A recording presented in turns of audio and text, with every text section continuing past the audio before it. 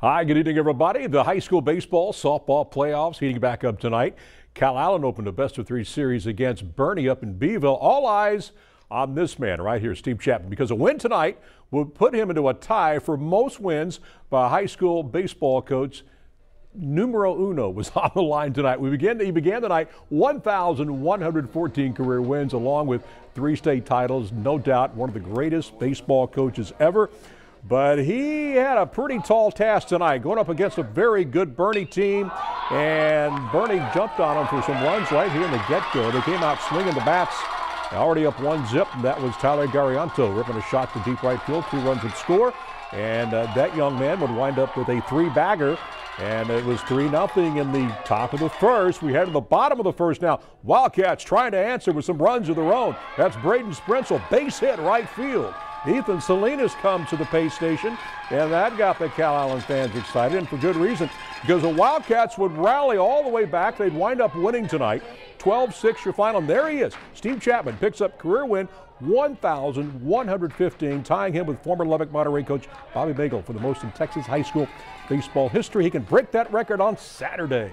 Big time congrats to him and I think he'll do it Saturday. All right, let's head up to San Antonio at UTSA. Bishop taking on Blanco in game one of their Class 3A regional semifinal. That was Brian Buchanan sends this one off the second baseman's glove. Marcus Hernandez is able to score. It's 1 0 early. And then Buchanan with a strikeout of his own. He pitched tonight. He was just a, uh, he was doing it all tonight. Seemed like later in this game, all tied at one in the third. This is Ty Odom. Remember, we heard from him last night. He goes over third base. Hernandez is going to score, and this is going to make it two to one.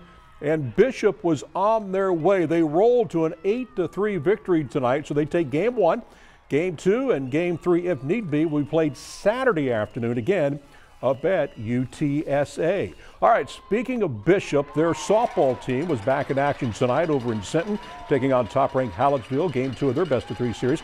They needed to win two games today to advance to state, but Hallettsville, again, they're the number one team of the state. They were very good on defense as well. You can see there many a time tonight, the Lady Badgers had players in scoring position, but Hallettsville always seemed to come up with the big play on defense, and they were also doing it with the bats as well. They would go on and win this game. Final score, three zip. They sweep the series still.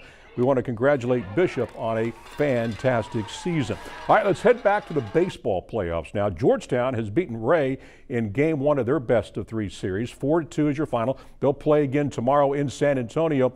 And in also in Class 4A, we can tell you this is actually uh, 3A. London beat Lago Vista. Final score of eight to nothing, and the Pirates take a one game to none lead. And uh, hopefully they'll go on to win that series as well. And Dale